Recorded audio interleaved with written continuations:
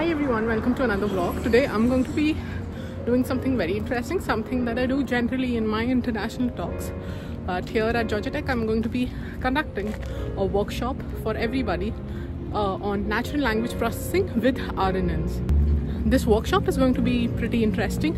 It's going to be held at uh, the lecture hall 1. We also have some good food to enjoy along with the event. So let me take you around. So it's going to be held at the Weber Space Station Technology Building.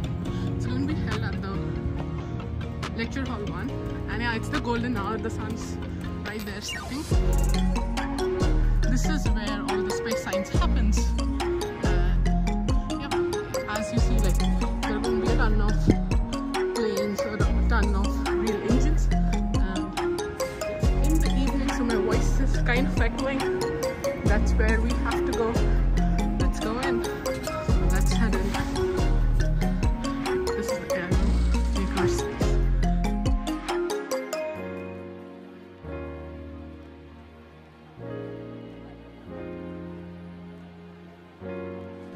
This is the place we're going to have our workshop.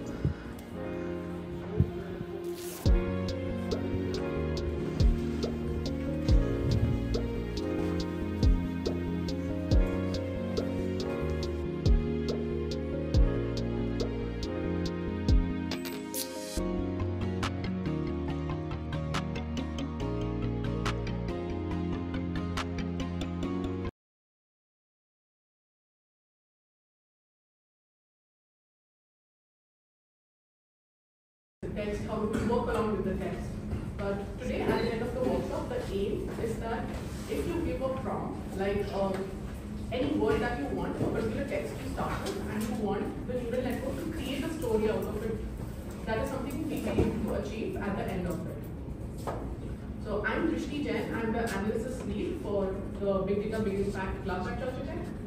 And to before diving into the workshop, I'll tell you a little about myself. So I'm a current master's in computer student at Georgia Tech. Uh, to um, natural language processing, we first look at uh, sequence data and how do we encode them in a very meaningful way. So unlike images, sequence data is a long change of texts. Now this can be equivalent to weather patterns, videos, and anything wherein uh, time is relevant. The placement of words in your sentence is very relevant. If you are thinking of, uh, let's consider a simple statement of an apple is in the basket.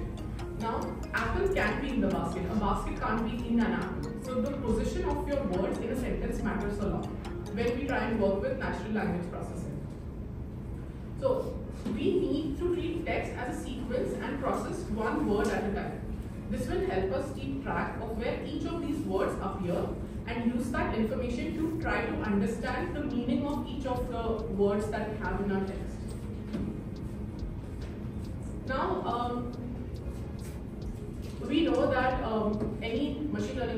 A neural network does not take uh, raw text as an input, which means that somehow our text data has to be encoded into uh, an object which can be easily processed by these machine learning models. That is what happens when we're trying to encode text.